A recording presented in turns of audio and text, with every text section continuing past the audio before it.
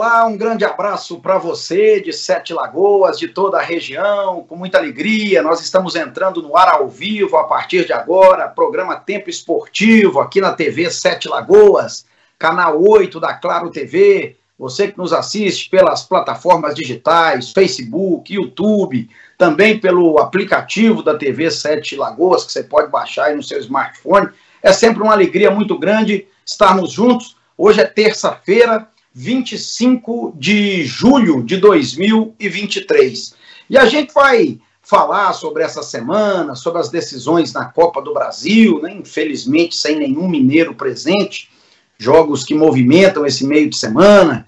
Vamos falar também do Brasileirão, né? O Vasco perdeu mais uma no fechamento da rodada 16. Temos aí os destaques de Atlético, de Cruzeiro. Tem um documentário muito legal que o Estádio Mineirão fez com o Atlético, né? Ontem, eu falo 24, mas a decisão da Libertadores já foi na madrugada de 25 de julho, né? Completando 10 anos aí nessa última madrugada. E nós fomos convidados para participar, foi um documentário muito legal que a gente vai exibir aqui também. Vamos falar sobre todos esses assuntos e as semifinais do campeonato amador. Paraopeb e Cachoeirense de um lado, Montreal e União Alvorada do outro. O bicho vai pegar. Presença no tempo esportivo desta terça-feira do nosso querido Sérgio Moreira, jornalista Sérgio Moreira, de Belo Horizonte para o mundo via internet. Um abraço, Sérgio. Bom dia, Álvaro Vilaça. Bom dia a todos do Tempo Esportivo na TV Sete Lagoas. Um prazer. Coincidência, Vilaça, nós dois de rosa, hein? Ó. E hoje é dia de São Cristóvão, protetor dos motoristas. São Cristóvão abençoe a todos que dirigem com cautela, com segurança, né? Um abraço, Vilaça. Muitos assuntos a falar. Essas contratações que vai mexer aqui com o Cruzeiro, porque dizem que já está tendo ciúme, porque tem jogador chegando, ganhando milhão e outro ganhando mi, milhinhos. então, isso aí não sei como é que vai ser nos bastidores, porque o milhão, não aquele milhão de milho verde que a gente gosta de comer, mas o milhão de capilé, dizem que tá, vai dar ciúme dentro da toca da raposa. Isso aí, vaidade de jogador é complicado, né? Muita coisa para falar. E outra coisa, Vilas, os três times de Minas não ganharam nesse final de semana. A alerta vermelho para os times de Minas?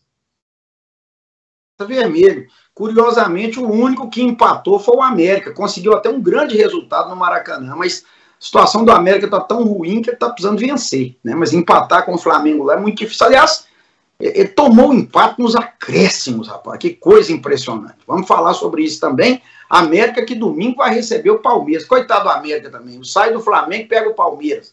É igual Cruzeiro e Atleta uma sequência duríssima no Campeonato Brasileiro. A gente vai falar, tá liberado aí o nosso WhatsApp, participe, interaja conosco, sempre ao vivo às 11 da manhã, reprise às 7 da noite, diariamente, 31 DDD de 7 Lagoas, 9 9986 5732. Vamos para o intervalo, rapidinho, daqui a pouco a gente volta com o tempo esportivo.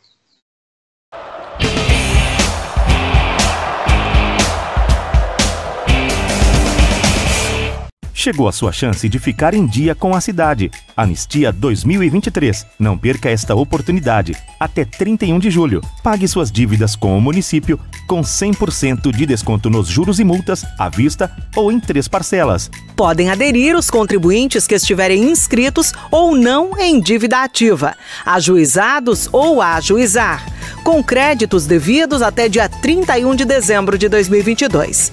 Prefeitura Municipal de Sete Lagoas. Gestão eficiente para a cidade seguir em frente.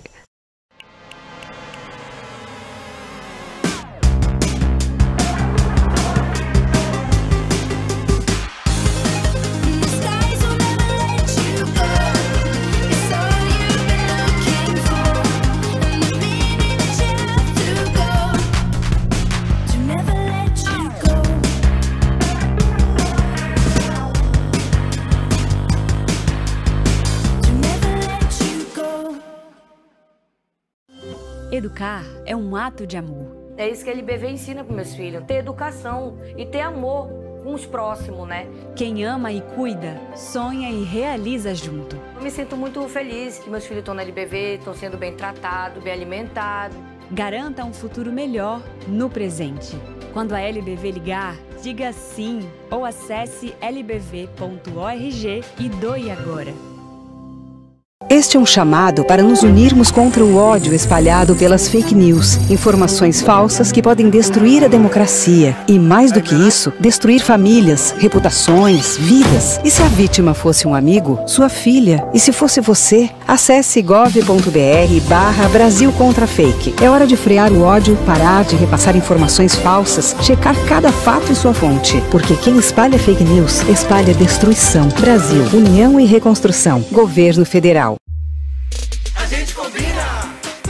Nosso encontro, nosso clima. A gente combina. Nosso jeito de se proteger do HIV. A gente combina. Combina. PrEP pra antes, ou PEP caso algo acontecer. A gente combina. Camisinha, seja ela masculina ou feminina. A gente combina. Combina também o teste ou autoteste, viu só? Quanto mais combinado, melhor. Ministério da Saúde, Governo Federal, Pátria Amada Brasil. Pressa quando ela bate, o que se quebra é a vida. Álcool. Uma grande dose de perigo no seu caminho. Distração.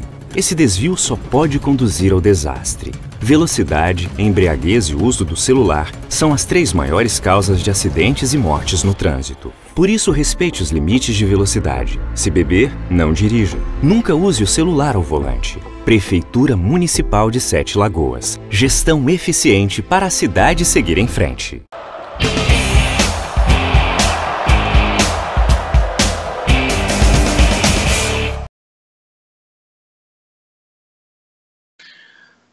Legal, nós estamos de volta ao vivo com o Tempo Esportivo nesta terça-feira. Sempre uma alegria muito grande estarmos aqui reunidos.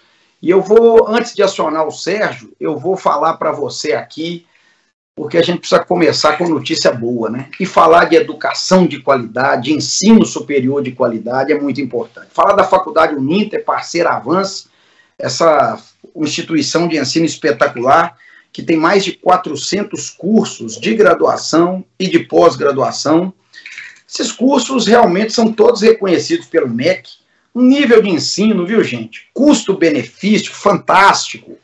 É, é você tem no, na, na faculdade Uninter, inclusive no ato da matrícula de qualquer curso, uma série de vantagens, material didático muito legal.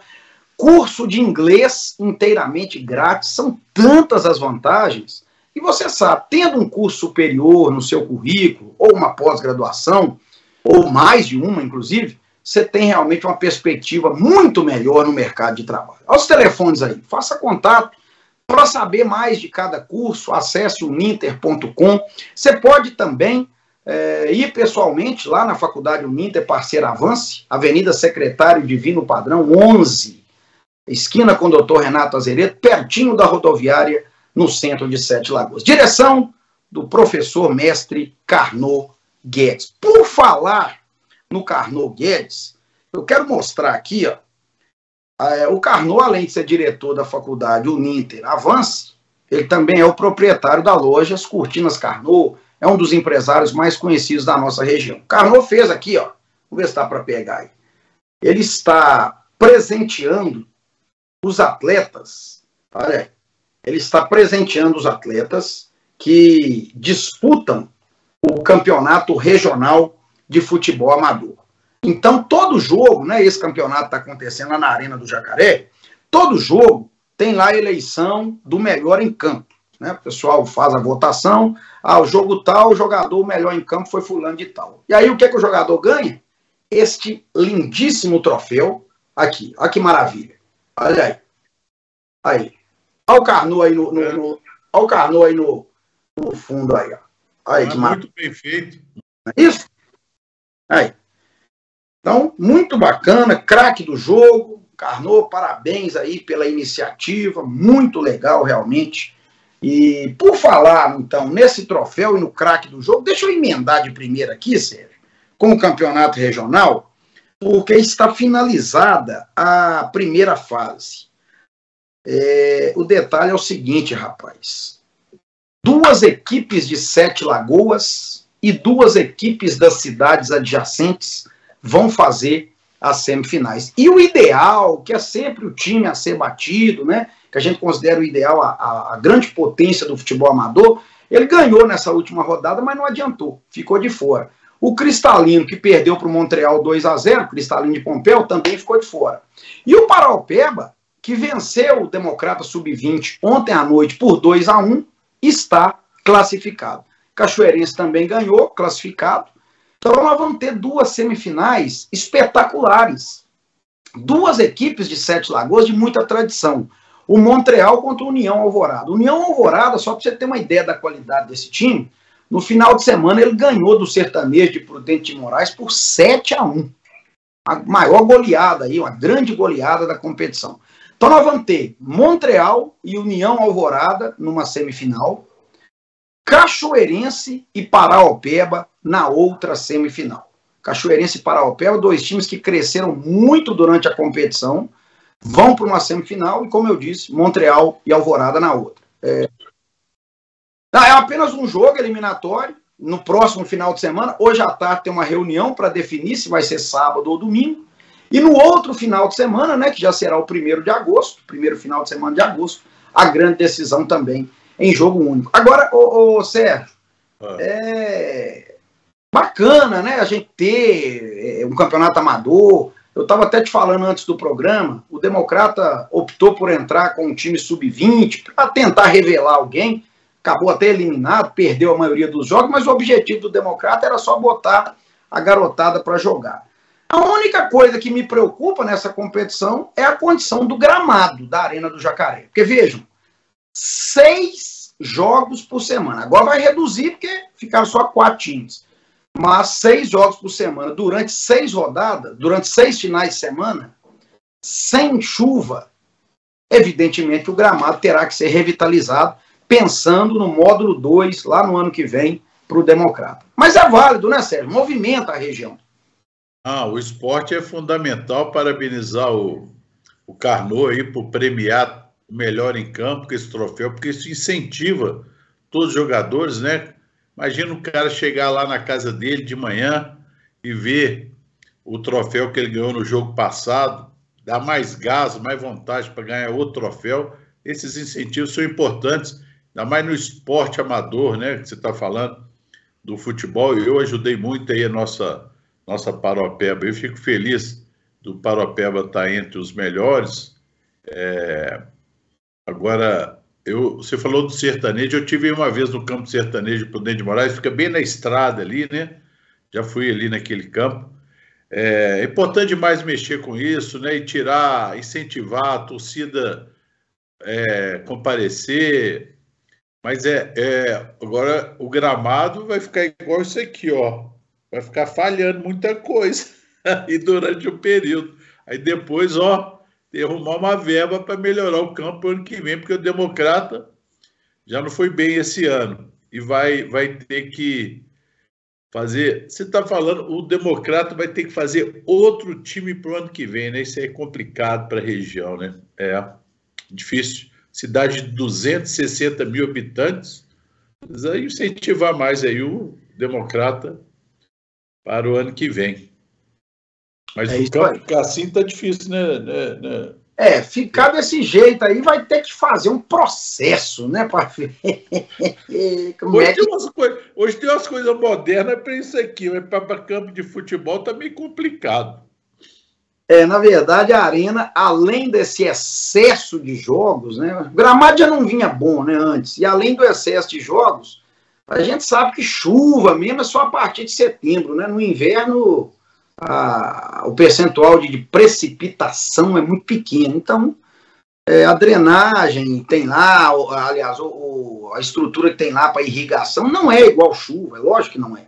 Então, vai, vai ser um período duro. Mas o campeonato termina em agosto até fevereiro do ano que vem, o Democrata vai ter uns seis meses aí para arrumar esse campo. É possível. Agora, o que você disse bem, vai ter que, como diria um amigo meu, o Larjan vai ter que aparecer, né? Para fazer isso aí. O Cruzeiro jogou aqui, ô, ô, você, você se lembra? Aquele jogo contra o Cuiabá? Nunca Cruzeiro... vou, não vai não, voltar. Mas o Cruzeiro também botou, botou culpa no gramado, né? Fez um jogo péssimo, né? E botou culpa. Que agora tá aí perdendo para todo mundo. Independência tá um tapete. Então também não é só o gramado, né? Convenhamos, né?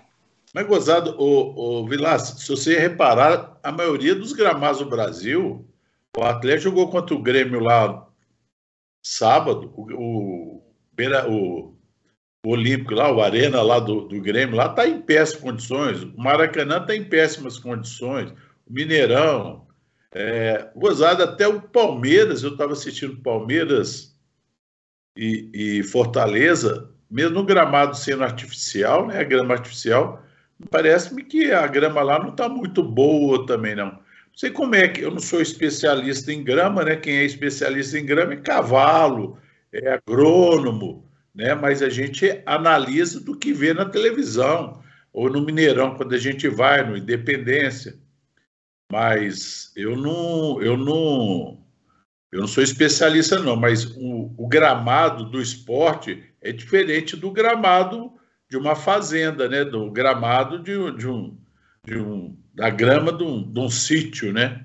O tratamento é totalmente diferente. Tanto é que comenta-se muito que o gramado é tão bom que sempre tem a família quero-quero, né? Aquelas aves, aqueles pássaros que ficam ali na, na, na grama porque tem um, um adubo, que eles adoram aquele tipo de adubo. Olha que coisa interessante. Só nos gramados dos estádios que tem o quero-quero.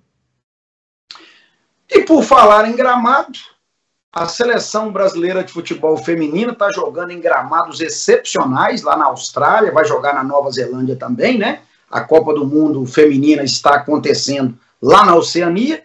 Ontem o Tempo Esportivo mostrou a estreia do Brasil, 4 a 0 para cima da seleção de Panamá. E sábado, anote aí, sábado, sete da manhã, horário de Brasília, tem Brasil e França. Depois o Brasil ainda vai pegar a Jamaica na última rodada. Ou seja, duas seleções da América Central e uma seleção europeia no grupo do Brasil. Essa Copa do Mundo até apontam o Brasil como um candidato ao título, mas tem que ficar de olho. A Alemanha ganhou de Marrocos de 6 a 0. Estados Unidos meter 3 a 0 no Vietnã, Estados Unidos sempre uma seleção muito forte. A Inglaterra, que sofreu para ganhar na estreia, não deixa de ser também um time com, com alguma é, é, é qualidade aí para buscar título. Enfim, as asiáticas, a China, o Japão ganhou de 5 a 0 mas é a sétima, é a sexta e última Copa da Marta, né, que até ficou no banco ontem, entrou no segundo tempo. E seria muito legal né, a nossa rainha se despedir com esse título inédito para o Brasil. Ô, ô Sérgio, quando fala-se de seleção brasileira, e aí eu, eu me refiro tanto à masculina quanto à feminina, mas na feminina mais ainda. Eu vi essa seleção feminina, eu não vou me lembrar o ano, umas três Olimpíadas atrás, perderam a medalha de ouro, se não me engano, foi para a Alemanha, o Brasil ficou com a prata, em que você percebia nitidamente é, uma, um desequilíbrio emocional. É, o Brasil tem isso, chega nesses eventos de grande é, competição, de, de, de, grande, de grande competitividade. Eu não sei, as asiáticas são mais frias, as europeias, os europeus são mais frios, o sul-americano ele é muito é, o sangue latino, né? E a gente às vezes percebe que essa parte emocional atrapalha. Eu me lembro na Copa do Mundo aqui no Brasil, quando o Brasil foi estrear contra a Croácia, que é o primeiro jogo lá em São Paulo, no estado do Corinthians, o time quase todo chorando na hora do hino nacional. Ah, não pode chorar na hora do hino nacional? Pode, mas é, eu me lembro do Davi Luiz, ele chorava de soluçar. Aqui deve atrapalhar o jogador. Mesma coisa ontem. O Brasil estreou lá no Mundial Feminino, fez os gols lá contra o Panamá. Cada gol era uma baciada de choro o choro é muito bonito, eu sou muito emotivo, inclusive. Mas para atleta de alto rendimento, eu penso que tem que haver um equilíbrio. Me recordo do Brasil perdendo competições por causa dessas questões, e eu fico com medo disso acontecer agora de novo. Tomara que não, né, Sérgio? Porque o time do Brasil é bom. Ele é dentro do, do vamos dizer, das seis seleções do mundo, das seis seleções do mundo, o Brasil está entre elas. Mas o Panamá também é a primeira Copa do Mundo. Eu assisti o jogo ontem, né? É, 8 horas da manhã. E por incrível que pareça, vendo as notícias, foi um, um recorde de audiência né, das transmissões do, nesse horário em jogos femininos, já foi medido né, a, a audiência, o antigo, a gente usa o antigo Ibope, né, não existe mais o Ibope, mas a gente ainda usa o Ibope como audiência. É, o quarto gol, Vilaça, o quarto gol acho que tem que guardar para a eternidade. Foi um golaço, golaço, uma, quatro toques, quatro é, toque de letra, toque de calcanhar. Foi assim, é, que vontade que os, o time masculino do Brasil ou de outros clubes tenham feito um gol tão bonito igual foi o quarto gol do Brasil. Mas é o seguinte, o Panamá também é é lá essas coisas não. Agora o Brasil pega no sábado é a França, que já é um patamar maior, né? Então vamos vamos ter calma, né? Vamos, como você disse, o emocional abaixar a adrenalina da, da estreia, mas Panamá não representa muita coisa não, viu, Vilas? É verdade. Lembrando que o Brasil é o líder né, do grupo F, porque a França empatou com a Jamaica na estreia em 0 a 0 Ô Sérgio, hoje a bola também vai rolar, vai começar a fase semifinal da Copa do Brasil. Eu estou aqui com os jogos, um jogo hoje e outro amanhã. Hoje, às nove e meia da noite, a Arena Neoquímica, Corinthians e São Paulo, abrindo as semifinais. Semana que vem, o jogo de volta no Morumbi. Esse jogo hoje, repito, nove e meia da noite. Amanhã, quarta-feira, também às nove e meia, em Porto Alegre, Grêmio e Flamengo. Na outra quarta, o jogo de volta lá no Rio de Janeiro. Corinthians e São Paulo, Flamengo e Grêmio. Você está apostando em quem na final da Copa do Brasil? Que, de novo, não terá um time de Minas Gerais, né, Sérgio? É, o Corinthians, o Atlético tinha tudo para passar, tinha ganho de 2 a 0 aqui no Mineirão o Cudê inventou aquela escalação lá em São Paulo. Eu não gosto de falar esse nome desse, do, do estádio Taqueirão, não, porque esse Taqueirão é uma caixa preta. Ela foi financiada pela Caixa Econômica na época, pelo BNDES, e o Corinthians até hoje não pagou um vintém. Está um, um embrólio lá. Quem está pagando lá aquele estádio até hoje é eu, você, o Santiago, nossos telespectadores aqui da TV Sete Lagoas, que aquele ali, o, o André Sanches, aquele cara, é um, aquele, ele era um raposão também, né? Na, na, na, vamos dizer, um, um estilo Eurico Miranda no futebol, né? Ele fez aquele estádio no peito, na raça e não pagou nem um centavo.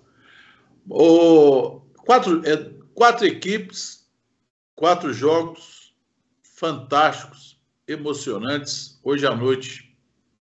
Não tem, não tem, não tem Nenhum deles. Todos crescem em decisões. Acredito que não tem nenhum, nenhum favorito, não. Penso assim, na minha opinião, eu, eu, daria um pequeno favoritismo ao São Paulo, embora o São Paulo tenha perdido aí no final de semana, Campeonato Brasileiro. Mas esse time do Corinthians, gente, eu não sei como é que Atlético e América saíram para esse time do Corinthians. O time do Corinthians é muito ruim. Me, me perdoe se tiver algum corintiano assistindo o programa aí. É, é realmente o, o, o, time não é lá essas coisas, Corinthians e Bahia lá em, em Salvador. É horrível, apesar que o Roger Guedes não jogou, mas é horrível. Então, apesar que é clássico, mas eu fico achando que o São Paulo é um time um pouco melhor. No Grêmio e Flamengo, ô, ô, ô Sérgio, não dá para entender futebol. O Grêmio fez um gol contra o Atlético sábado, depois não deu um chute a gol, o Atlético dominou o jogo e não conseguiu empatar. E o Flamengo, que é o time mais é, rico do Brasil, tem o melhor elenco, quase perdeu para o América dentro do Maracanã. Então, é, eu acho assim, teoricamente, Flamengo e São Paulo fariam a final. Né? Se a gente for olhar friamente. Mas, mas como você disse, né? É, os times crescem, aí era muito um time não joga nada. Quer dizer, é um negócio, uma caixa preta também, isso aí, né? Lá em, e lá em São Paulo é torcida única, né? O, o, o São Paulino não pode entrar no estádio do, do, do, Corinthians, nem o corintiano pode entrar. É uma, é uma lei que tem lá da, da promotoria, por causa de briga de torcida, né? é, times do mesmo estado, é, a torcida não pode entrar no estádio. Então lá vai ser 100% corintiano, no próximo jogo vai ser 100% São Paulino, mas se fosse Corinthians e Flamengo, 10% para a torcida visitante. É interessante, da cidade ou do estado não pode entrar no estádio do adversário. É, e mesmo assim tem confusão, tem briga, tem é uma loucura esse futebol, é uma coisa de maluco, né? Isso aí. É, até eu escrevo para um jornal aqui que chama Edição do Brasil. Essa semana estou falando sobre isso. Até quando vai a justiça nessas brigas nos estádios? A briga não dentro do estádio, é a briga ao redor, né? Aquela torcedora do Palmeiras morreu por jogar uma garrafa, cortou o pescoço dela, né? Um azar fenomenal. E até hoje, o não acharam quem jogou a garrafa. Tem mil câmeras. Hoje, você sair da sua casa, eu sair da minha, o Santiago, nossos amigos estão nos assistindo, tem câmera para todo lado. E não prenderam o jogo. Prenderam? Eu? Então eu tenho que corrigir, que eu já mandei minha matéria hoje, eu tenho que corrigir. É, agora, ô, ô, Sérgio, para não, não alongar muito, mas eu vou te dizer uma coisa. Toda morte, ainda mais por violência, né? É uma coisa lamentável, a gente fica muito triste. Mas é que a menina também, ela não precisava estar lá no meio daquela confusão, né? Você sabe que a confusão está lá, para que, que você vai lá? Não há necessidade. Não, mas ela, eles estavam num lugar fechado, não sei se você viu, eles estavam Não, não, não eu, eu vi desde o início a matéria. Ela estava no meio de uma confusão, a polícia chegou, ela e vários, afastaram eles para um lugar fechado, aí fecharam o portão e alguém atirou a garrafa por cima do muro e, acabou acertando nela. Mas nem ela e nem não é os que sobreviveram e ela que infelizmente faleceu, todos errados, todos errados. Querer confrontar a torcida adversária. Se eu sei que tem uma briga lá de, de, de, de torcidas organizadas, o que que eu vou caçar lá perto? Para quê? Né? Ah, mas ela não atingiu ninguém. Mas para que ela ficou ali? A polícia, inclusive, empurrou. Eu vi a cena. A polícia empurrou eles, vários, ela no meio, para um outro lado lá e fechou o portão. Aí alguém veio por cima e atirou a garrafa. Então, assim, morte no futebol é a maior estupidez que existe. Mas o ser humano também podia colaborar um pouquinho, né? Convenhamos.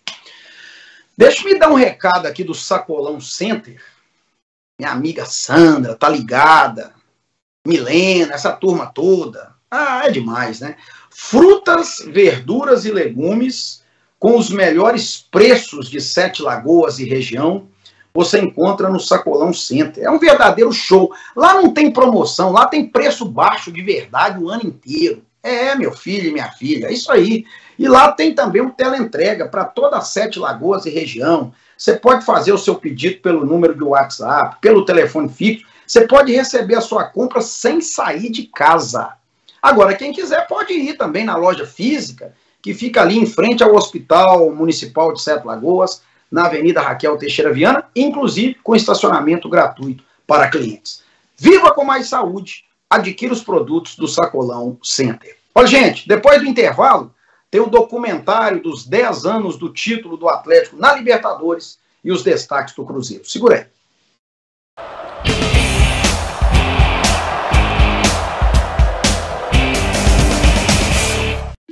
Doenças que já não eram ameaças estão voltando a ser. O motivo? Descaso com a vacinação. Parte da população está deixando de lado o hábito de se vacinar. Veja nos centros de saúde quais vacinas estão disponíveis e quais são indicadas para você. São mais de 20 opções. Tem vacina contra hepatite B, pólio, rotavírus, pneumo 10, febre amarela, tetraviral, varicela, difteria e muito mais. Saúde é coisa séria. As vacinas são seguras e salvam vidas. Prefeitura de Sete Lagoas. Secretaria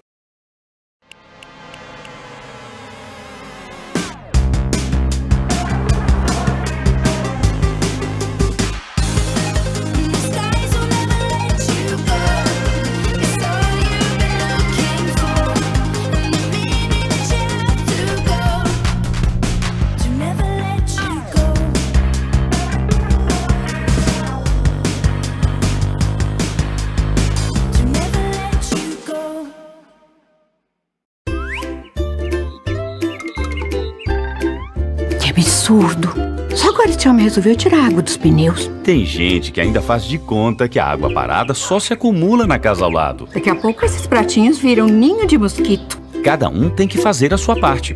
Dengue. Quando você culpa o vizinho, o mosquito ganha terreno. Mais atenção para a prevenção. É o governo do estado cuidando da saúde dos mineiros. Minas Gerais. Governo diferente. Estado eficiente. Pressa. Quando ela bate, o que se quebra é a vida. Álcool. Uma grande dose de perigo no seu caminho. Distração. Esse desvio só pode conduzir ao desastre.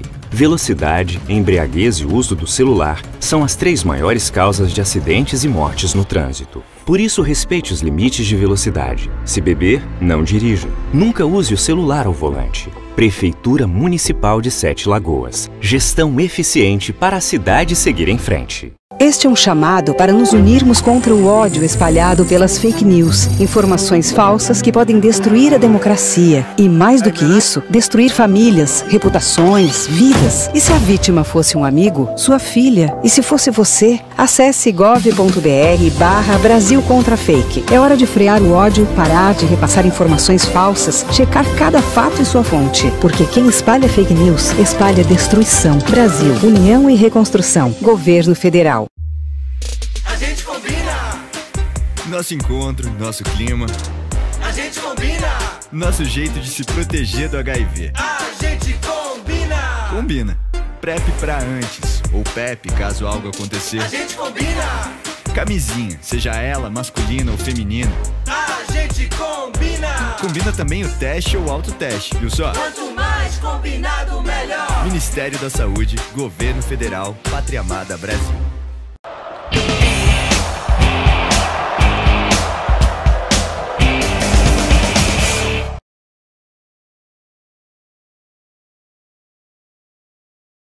Meus amigos e minhas amigas do Tempo Esportivo, nós estamos de volta nesta terça-feira. É, já falamos de Copa do Mundo Feminina, já falamos de Copa do Brasil, já falamos de Campeonato de Futebol Amador.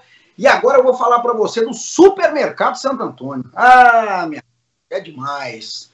Eu adoro o Supermercado Santo Antônio. É onde você encontra realmente uma variedade incrível, com os melhores preços do mercado.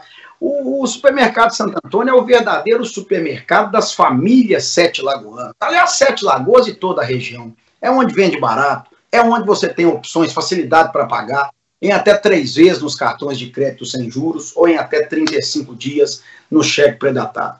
O supermercado Santo Antônio está na Avenida Norte-Sul, né, ou Rua Professora Belarde, ali no bairro das Graças, também na Rua Olavo Bilac. Muita promoção para você. Supermercado Santo Antônio, onde você sempre ganha. Olha, o Cruzeiro anunciou aí a contratação do meia Matheus Pereira, estava lá no futebol do mundo árabe, e ele vem para reforçar um setor muito problemático, né, que é o setor de criação. O time não tem jogado bem.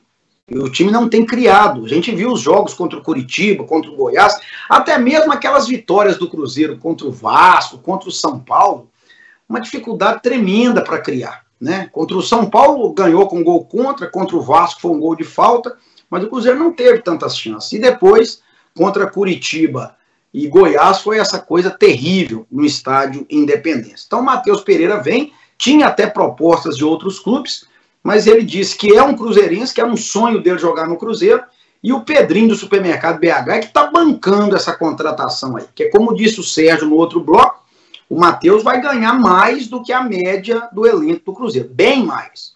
Há quem diga o dobro, o triplo, não sei a cifra exata, mas é um valor muito maior, até porque ele estava no mundo árabe. Só que lá ele não estava jogando muito também, não.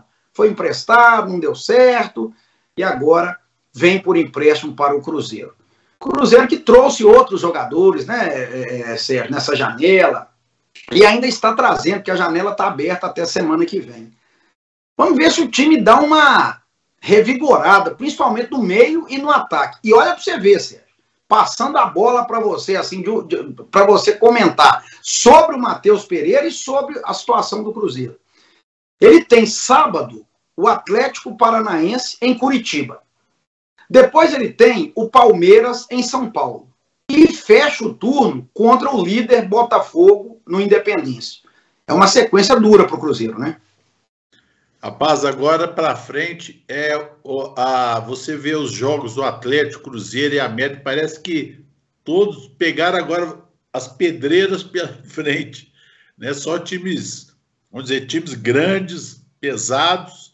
Agora essa do, do Matheus Pereira, ele saiu daqui com 18 anos, foi para a Europa, né? Nasceu em Valadares, jogou na em Democrata, no outro time lá da, da região, e foi para a Europa. E ontem, até fazendo uma pergunta com meu, ao meu filho ontem à noite, é, sobre ele. Interessante, ele nunca foi para a seleção brasileira, e qualquer um que vai para a Europa vai para a seleção brasileira. Esse, esse Matheus não foi para a seleção brasileira. Europa, se você põe o pé na Europa, você vai para a seleção. E ele não foi interessante, né? Mas eu não, eu não conheço o futebol dele, sou franco, não conheço, não, não acompanhei a carreira dele. É, pode ser, pode explodir, vamos dizer, no, no, sentido positivo, mas pode implodir no negativo. Eu não, eu não, eu não sei, mas para ganhar mais de um milhão de reais no Cruzeiro, através do, do empresário, né? Empresário entre aspas, né? Desculpa é, porque ele é um dos. Do, ele comprou 20% do, do, da SAF do Cruzeiro, que é o, o Pedrinho, né? Então é, ele está ele tá pagando, porque ele é um dos donos da SAF do Cruzeiro. Então, é uma novidade isso que você está dando para mim aí, porque ele é um dos donos, então ele está bancando é, é, o salário do jogador, porque chegaram no meu ouvido ontem à tarde que ia dar um problema lá, porque tem jogador. O Cruzeiro negociou que não tinha condições de pagar X milhares de reais, que a gente sabe que o jogador ganha bem, por causa da situação do, do Cruzeiro. Mas agora chega um ganhando mais de um milhão de reais, mas se um dos donos do Cruzeiro está bancando, aí tudo bem. Mas não conheço o futebol dele. Bom, eu falei que o Cruzeiro joga sábado com o Atlético Paranaense, esse jogo é às seis e meia. E sábado, às nove da noite, tem Atlético e Flamengo. O jogo vai ser na Independência. Aliás, a Independência vai receber dois grandes jogos no final de semana. Sábado, às nove, Atlético e Flamengo. Domingo, quatro horas, América e Palmeiras. E isso tudo porque o Mineirão, mais uma vez, prioriza um show. Né? Teremos evento lá no Mineirão, sexta, sábado não sei o que, é isso, que não acabam também esses eventos. E o futebol, você vê, um Atlético e Flamengo, jogo para 50 mil pessoas, vai para o Independência, que só cabe ali um limite de 22 mil pessoas. Enfim, o Atlético ainda não venceu sob o comando do Filipão. Jogou melhor contra o Grêmio, mas ainda não venceu. Mas hoje o foco é o aniversário de 10 anos né, do título do Atlético na Copa Libertadores da América. Foi naquele 24 para 25 de julho de 2013, aquele jogo contra o Olímpia do Paraguai, no Mineirão, a decisão por pênaltis. E o Estádio Mineirão fez um documentário muito legal com os narradores daquela final. Eu também participei desse documentário.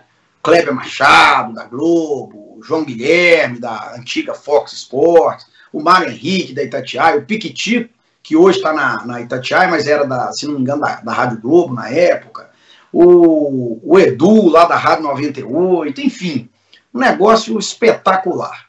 E a gente vai exibir esse documentário para você aqui agora no Tempo Esportivo. Roda aí, meu filho. você ligado na Decisão da Libertadores 2013. 105 anos de história e o Atlético chega à sua decisão mais importante. Conta com o apoio dessa massa impressionante. Ah, o Globo vai transmitir, vai ser aberta, vai para vai a rede, você vai para lá. A reação é mais agradável. Eu tinha feito já algumas finais Aliás, foi a, depois daquela eu não fiz mais nenhuma final de Libertadores. Então, poxa, é super legal. E imaginando, né? O Mineirão, como é que ele ia estar, tá, a expectativa da torcida, o calor da torcida, o elenco que era bom, o Atlético estava jogando muito. Começa a decisão da Copa Libertadores da América, grande decisão aqui no Mineirão. Eu acho que desde depois do, do primeiro jogo lá em Assunção, ninguém mais dormiu direito, né? O Atlético estava trazendo para o Mineirão um resultado de 2 a 0 contra. É um resultado difícil de tirar. Uma coisa é você fazer 2 a 0 normalmente, outra coisa é você precisar fazer 3 para você ser campeão. O placar de 2 a 0 no Paraguai me assustou um pouco, sim, porque o Galo era muito mais time que o Olímpia. E o Olímpia conseguiu uma vantagem confortável, uma boa vantagem. O Atlético precisava de três gols para ser campeão nos 90 minutos. Mas aquele time do Galo era um time das viradas improváveis, das grandes conquistas, dos grandes momentos. Então, eu particularmente achava que o Galo poderia reverter essa desvantagem no Mineirão. Cheguei aqui por volta de 14 horas, né? O jogo foi às 21h30. E já tava uma loucura, cara. Já tava uma loucura lá fora, na, na, no entorno do estádio. Quando a gente adentrou, 4, 5 horas da tarde, aparecia assim. Eu nunca vi nada igual na minha vida. Esse estádio, ele, ele carregou um, um sentimento, uma, uma emoção. É indescritível. Era assim: a cada um segundo ou menos, você ouvia um foguete. Né? o estampido. Aquilo foi da hora que a gente chegou até o início do jogo. Assim, eu acho que o estoque foi todo embora de milhares e milhares de fogos de artifício e os foguetes, né? Para incentivar o Atlético naquela decisão. Eu consegui sentir mais otimismo do que tensão, porque o Atlético precisava fazer 2 a 0 para depois levar para os pênaltis. Eu não senti um clima de insegurança que às vezes fica nos estádios né? Mas eu senti um certo otimismo e é uma massa acreditando muito. O tal, o tal do eu acredito, ele realmente ele foi introjetado mesmo. Aquele sentimento do eu acredito, ele tomava conta do Mineirão. Né? Era uma missão difícil, porque o Olímpia é uma equipe muito tradicional, uma equipe dura de enfrentar, uma equipe já naquela oportunidade tricampeã de Libertadores da América, mas o Galo tinha um timaço, né? E eu me lembro que quando eu estava na fila para pegar o meu tropeiro, eu comecei com um colega, aí eu devolvi a pergunta que eu respondi o dia todo. Eu falei, e aí, Anderson? O que, que você pensa que vai acontecer hoje? O que, que você acha que vai acontecer? E ele me disse, vai ser no sufoco, mas o Atlético vai ser campeão e vai ser nos pênaltis. Prepara sua garganta. Evolução para o Michel. Michel vai encarar a marcação, vai tentar a passagem. Trabalhou com o Rosinei, tentou cruzamento na marca penal. Vem Pitone, falhou, a bola voltou, olha o gol!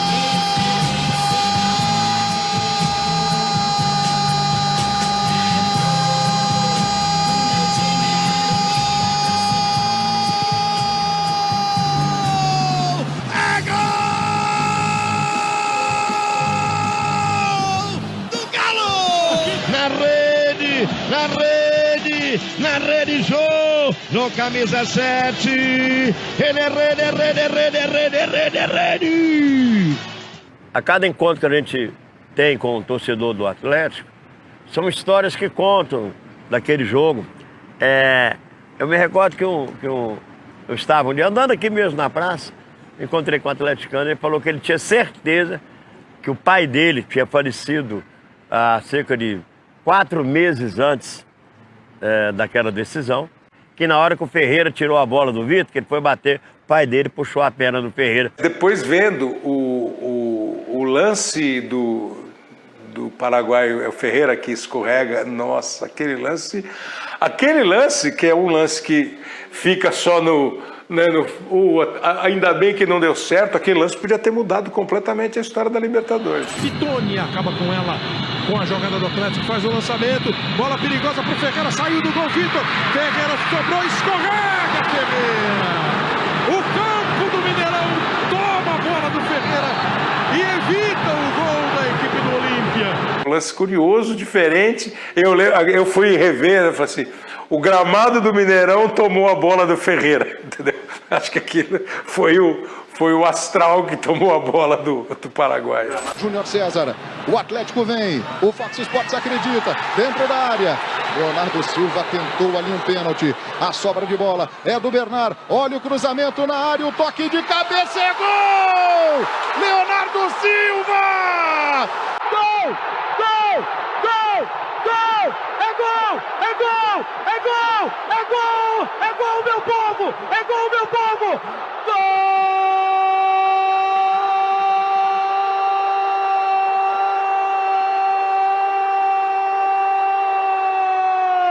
É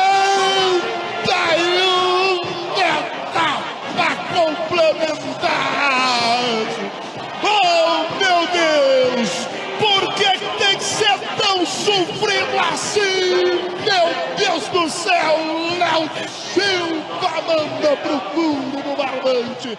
Do porquê que tem que ser tão sofrido assim ficou marcante, né? As pessoas até hoje brincam comigo na rua, Caixa, por que, que tem que ser tão sofrido assim? Que foi espontâneo, eu não treinei aquilo, eu jamais saberia que o gol que levaria para a prorrogação iria sair quase que nos acréscimos. É emocionante porque a gente vive isso, né, cara, a vida inteira. O, o futebol é uma coisa. Vocês realmente conseguiram me emocionar porque é um negócio que marcou demais, né, a minha vida. É, eu me recordo que quando terminou o jogo, eu homenageei meu pai, meu pai já havia falecido, né? Era um grande atleticano e é, né, desejei aquele título para ele, para os meus filhos, então foi incrível. Quando o jogo vai para os pênaltis, você tem toda a massa no Mineirão, você tem toda a torcida fazendo muito barulho e você tem o Vitor, naquele momento São Vitor. Afinal de contas, ele virou São Vitor durante essa campanha da Libertadores, pegando aquele pênalti com a perna esquerda. Então eu estava otimista em relação ao Vitor, otimista em relação ao Atlético. Só que, historicamente, o jogador brasileiro às vezes sente mais essa pressão de estar em casa, a, a massa fazendo barulho, esperando. Mas o Galo não perdeu nenhum pênalti. Cobrança agora é de Jiménez. O Atlético vai se aproximando da conquista. Se o Vitor pegar, acaba. Senão o Atlético tem mais uma chance para converter. Jiménez. Vamos nessa, Vitor. Jiménez bateu pra fora. Na trave. Não entrou. O Galo é campeão. É campeão. O Galo é campeão. O Galo é campeão da Copa Libertadores. O Galo é campeão da Copa Libertadores da América 2013.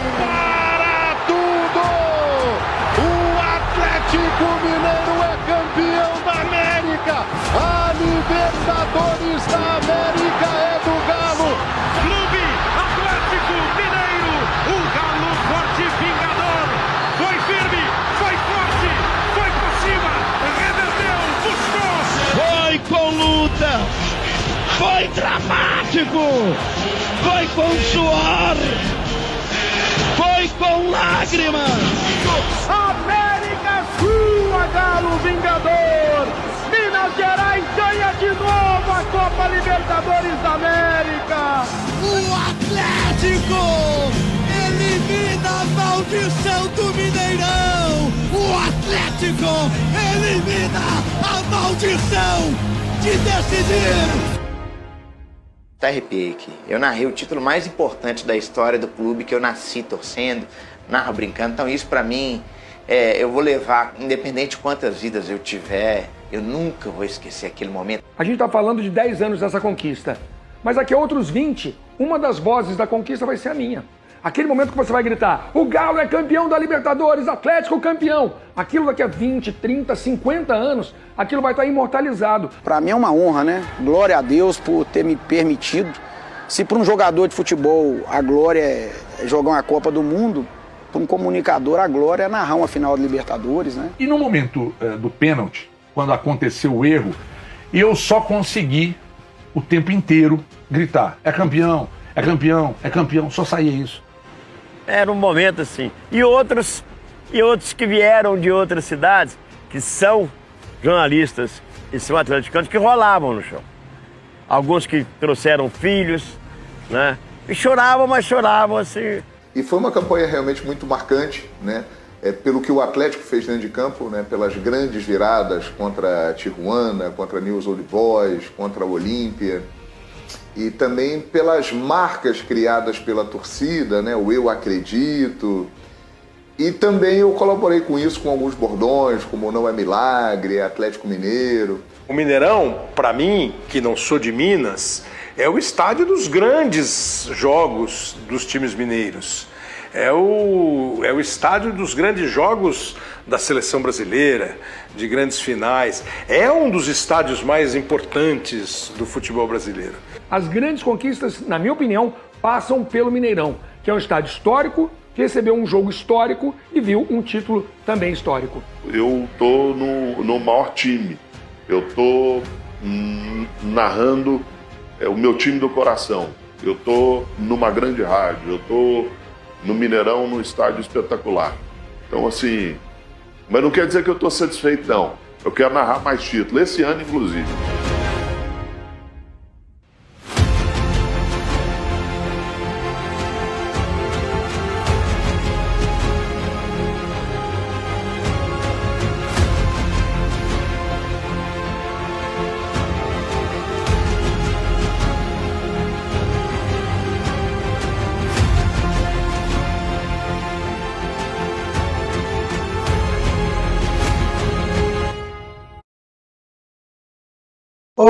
Sérgio, documentário muito grande, 12 minutos, mas não tinha como não homenagear a torcida do Galo, porque aquilo foi aquilo foi roteiro de filme de suspense, né, rapaz? Com final feliz, né? Bom, tem que abrir aí, Sérgio. Abre o microfone aí. Aqui, é, eu deixei no silencioso o barulho que poderia passar aqui na minha casa para escutar tudo aí que foi falado. Parabéns aí pelas suas palavras.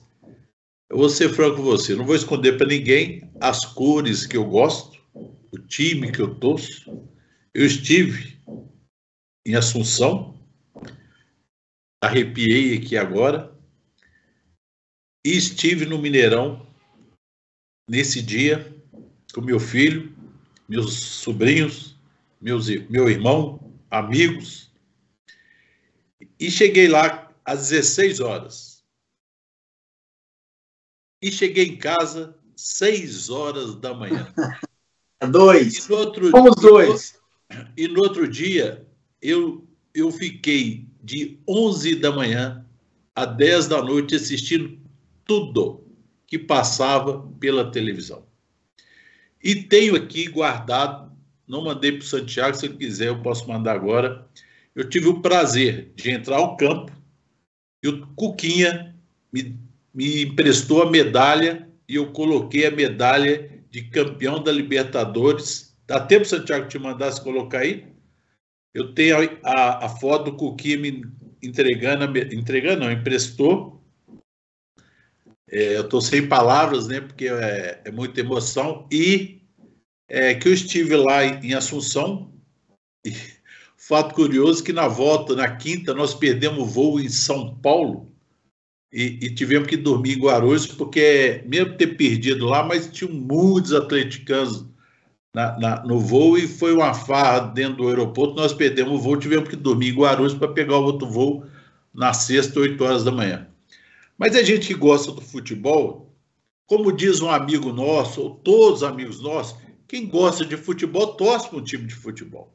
Não adianta esconder que, que, que, que Galvão Bueno é flamenguista, que o Caixa é atleticano, que Fernando Sasso era americano, e, e aí vai, Holanda Augusto é, é cruzeirense, vamos embora. Mas foi uma das maiores emoções da minha vida. Eu coloquei ontem na minha rede, na minha rede Facebook, isso. Há 10 anos atrás, um dos momentos mais felizes da caminhada da minha vida. E e tenho guardado aqui o, a, Brid, a Bridgestone, uma empresa né, que patrocinava, tem guardado até hoje a, aquela, aquele negocinho que batia assim para fazer o barulho, está guardado aqui. Entra, eu dei uma limpa no meu armário, mas esse, esse, esse balãozinho aí está guardado aqui até hoje. Mas eu tive o prazer de entrar em campo e subir na, depois que os jogadores subiram no. Não sei se vai dar tempo. Eu, eu não vou esconder, não, né? Eu, eu sou atleticano e foi uma das maiores emoções da minha vida. É, é, como é que fala? Vê isso aí. Isso aí por quê?